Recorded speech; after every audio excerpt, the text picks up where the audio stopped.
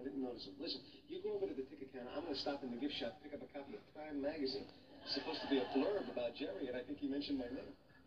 I know that guy. Gotta get some Time magazine. Never miss nothing. Okay, get your magazine. Let's get out of here.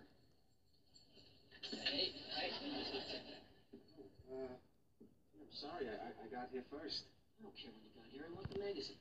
No, see, you don't understand. There- There's a blurb about me in this night. You're a blur. Check out the cover, idiot. Okay, let's go. No, just give me a second. If I wasn't in these shackles. But you are, ah, Blair. You are ah, in the shackles. oh, I can't wait to read my Time magazine. Maybe I'll read it tomorrow in the park.